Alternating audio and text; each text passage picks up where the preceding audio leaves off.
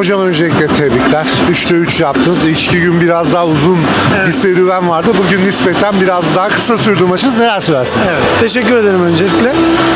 Evet dediğiniz gibi ilk iki gün bayağı çetin mücadeleler oldu. Ee, bekliyorduk zaten bu tarz müsabakalar olacağını. Ee, her zaman söylüyorum ben yarı finallerden final grubuna çıkmak çok zor. Ee, çünkü finale kalamamanın stresi, kaygısı ister istemez ee, yaşanıyor. Ee, iki gün çok kıymetli bir geri dönüş gösterdik. Ee, bundan dolayı son derece mutluyum. Ee, işin açıkçası da e, 3'te 3 yaparak finallere çıkmak da bizi ayrıyeten mutlu etti. Oyuncularımı kutluyorum. Teknik ekipteki arkadaşlarımı kutluyorum. Ee, inşallah bu performansımızı tabii 3-2 olmayarak finallerde sergilemek istiyoruz aynı şekilde. Tebrik ederim bize. Dilara sana da aynı soruyu sormuş olalım. Aslında yoğun bir 3 gün yaşadınız. Özellikle ilk 2 gün. Bugün nispeten biraz daha kısa sürdü ama 3'te 3'te finallerdesiniz. Neler söylersin? Evet ilk iki gün bayağı yırtıcı oldu bizim için.